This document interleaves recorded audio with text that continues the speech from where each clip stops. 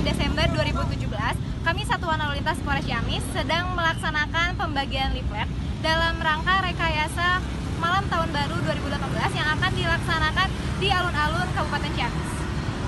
Leaflet yang dibagikan yaitu berupa himbauan di malam tahun baru dan juga peta rekayasa lalu lintas di wilayah Kabupaten Ciamis.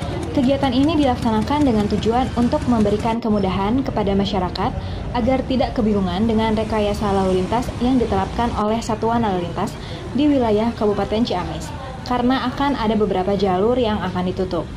Selain itu juga, dengan dibagikannya leaflet himbauan, bertujuan agar masyarakat dapat memahami pesan-pesan yang diberikan oleh Polres Ciamis untuk menjaga keamanan dan ketertiban, serta dapat menciptakan rasa aman bagi masyarakat di Kabupaten Ciamis.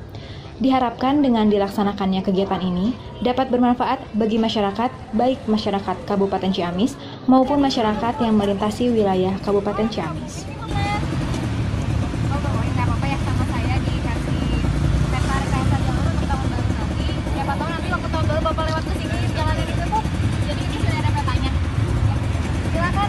Terima kasih, Bapak.